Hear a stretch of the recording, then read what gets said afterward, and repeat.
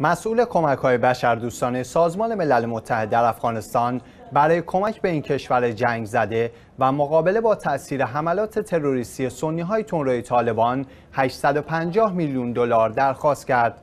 رامیز اکباروف به خبرنگاران در مقر سازمان ملل گفت که حداقل 18 میلیون افغانستانی نیاز به کمک دارند و برنامه سازمان ملل برای کمک به دست کم 15 ممیز 7 میلیون نفر از آنهاست. اکباروف گفت تنها 37 درصد از بودجه درخواستی یک ممیز 3 دهم میلیارد دلاری سازمان ملل متحد برای افغانستان تأمین شده و 850 میلیون دلار باقی مانده نیاز مبرم است. وی افزود خوشسالی طی سه سال گذشته و حملات عناصر طالبان موجب شده است که 270 هزار نفر خانه های خود را در مناطق روستایی به سمت مناطق شهری به امید پیدا کردن غذا، آب، سرپناه و بهداشت ترک کنند. اکباروف ابراز امیدواری کرد که همسایگان افغانستان توجه بیشتری به پناهجویان این کشور و به رنجهای آنها داشته باشند.